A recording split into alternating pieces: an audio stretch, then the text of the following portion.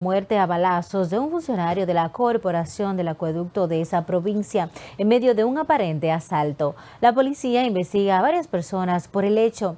Michel Vázquez González fue sorprendido por los delincuentes cuando estaba sentado afuera de su residencia en la calle José Eugenio Cunjar en San Felipe de Puerto Plata. La uniformada garantizó que dará con el paradero de estos criminales para someterlos a la justicia.